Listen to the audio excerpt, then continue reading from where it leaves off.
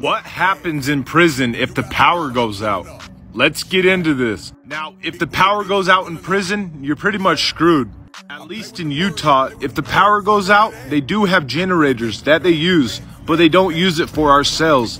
They use it for like the main hallway and like to make sure that the doors work. I've been through power outages that last days. Especially at nighttime, you can't see anything in your cell.